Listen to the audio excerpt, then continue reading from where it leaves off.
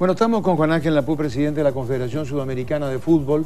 Así que agradecidos todos por tu presencia, Juan Ángel. un gusto estar acá con usted, estar contigo, contento, Arturo.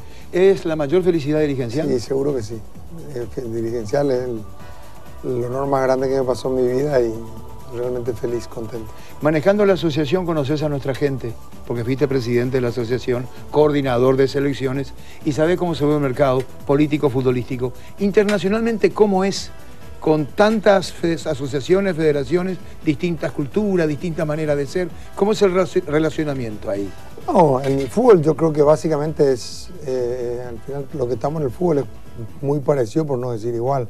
O sea, afuera también y bueno, a mí me tocó, estando en la, asociación, ya estando como director de selección, al viajar, al ir a, una Olimpiada o ir a Mundiales, me, te tocó relacionarte con, la gente, conocer la gente, pero lógicamente que ahora es muy diferente. Ahora conoces, ahora la relación internacional es mucho más activa, mucho, más, mucho más dinámica. Antes compartías, ahora tenés que decidir. Sí. Y están los fuertes, y están los débiles, y están aquellos que te deben llamar? ¿O es prematuro hablar? ¿O estás preparado para no, eso? No, no, muy preparado. Muy preparado porque la, mía es la, misma temática que fue siempre. El norte es no perjudicar ni beneficiar a nadie en particular y es muy tranquilo, muy fácil, esa parte es muy fácil. La presión existe, pero la presión está para hacer. Si hay una cosa con la cual nosotros, yo conviví toda mi vida es con la presión y para mí no me no, no, no me, es, no me es diferente. ¿Qué pelean las asociaciones? ¿Las sedes? ¿Quieren torneos juveniles? ¿Quieren estos proyectos? ¿Tienen en carpeta? Sí, seguro, pero el juego grande es la eliminatoria. Hablando de la eliminatoria con Ángel, en Rusia se va a registrar... El 25 de julio en San Petersburgo. Un hecho muy singular. Va a aparecer la Confederación Por primera vez en casi 20 años. Con todas las otras, con los otros continentes sabiendo el calendario. Sí, es que vamos a hacer por primera vez, vamos a hacer un, eh, un sorteo después de la última vez fue para Corea y Japón. Ahora vuelve el sorteo, excluyendo la confederación, con todos los continentes. ¿Qué va a ocurrir el 25? Y perdón, ¿por qué se atrasó la reunión que tenían prevista para ahora? ¿Pasa para abril? No, era en abril. La reunión era el 30 de abril. para mayo? Corrimos una semana más para mayo, corrimos unos días más. ¿Qué va a pasar en abril? No, se va a tocar, va a ser una reunión de comité ejecutivo donde básicamente se va a tocar muchas horas o probablemente todo un día solamente la eliminatoria. Cambiaron con Ángel el calendario, van a cambiar, no va a ser la misma programación. Eso está decidido. ¿Quién pidió? Eh, pedimos todo y pidió el presidente. ¿Esa petición fue aprobada por algunos fueron renuentes? No, no, no, no, queremos que se toque. Al comienzo sí, pero al final hablamos, consensuamos y fue por unanimidad, todos los países. Todos los países. Todos. Eh, esto de unanimidad es por una respuesta política, porque cada vez que se reúne la confederación y uno quiere saber la oposición que piensa y dice no. Por unanimidad. no, sí hubo, hubo. No fue siempre unanimidad. Ahora sí, pero, hubo y varias veces. En lo anterior no convenció, la repetición cansó. No, yo creo que, que no es solamente eso. Yo creo que cada torneo debe tener su calendario, debe tener su propio fixture y debe tener su propio sorteo.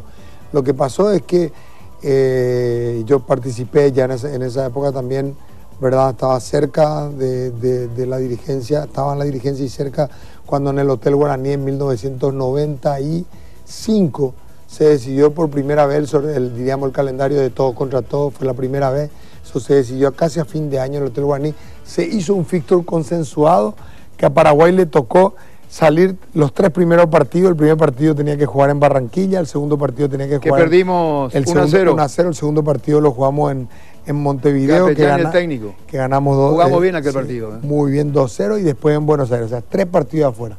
Ahí se hizo un sorteo consensuado.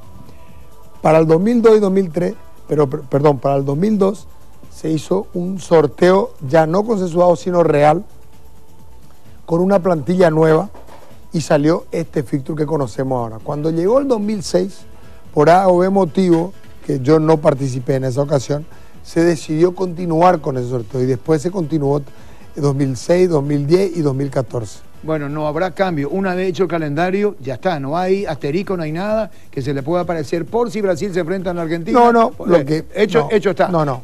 Eh, cabeza de serie pueden haber, o sea, como ocurre en cualquier sorteo. No, pero todo contra todo, digo. No, todo contra todo, seguro, pero hay. No, pero lo que te quiero decir, cabeza de serie. Ah, pueden, correcto. Pueden haber que es normal como hay en la Sí, Copa del Mundo, como bien, hay en la Copa América, pero es todo contra todos. Es todo contra todo. Sí, todo contra Lo todos. inmediato tuyo, ¿qué es ahora, Juan Ángel?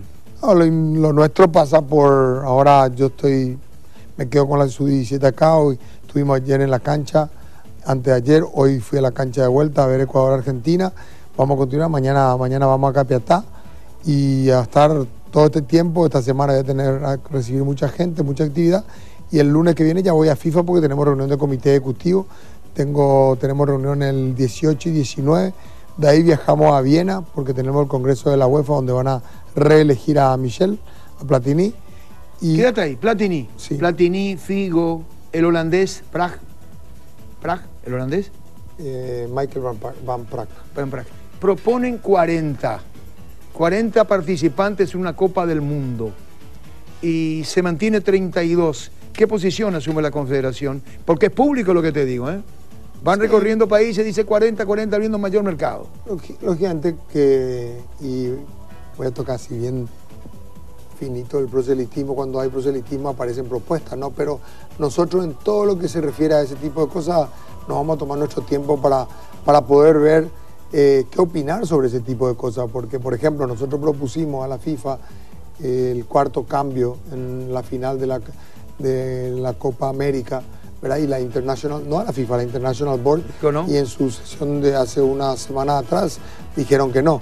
Pero, viste, todas esas cosas forman parte de que nosotros vamos a seguir pensando que lo- nuestra propuesta es la correcta, ¿no? Y lo vamos a seguir pidiendo en el futuro.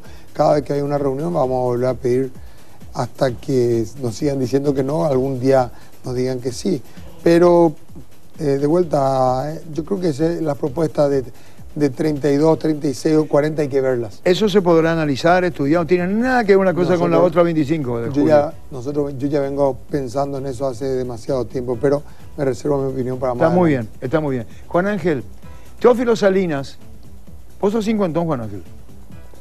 Más, casi 60 ya. Eh, y digo lo siguiente, Salinas gobernó 20 años.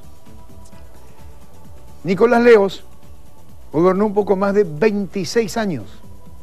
¿Por qué perdura el cargo en la Confederación Sudamericana de Fútbol? Um, yo creo que fue un estilo de dirigencia que, y cuando llegaron a la confederación, cuando llegaba a la confederación, se dieron las circunstancias, ¿no? Se- para que eh, los dos gobiernos sean gobiernos largos, pero la mayoría, y fíjate vos que la confederación en- está por cumplir, eh, el año que viene vamos a, vamos a cumplir 100 años. Con el gran torneo.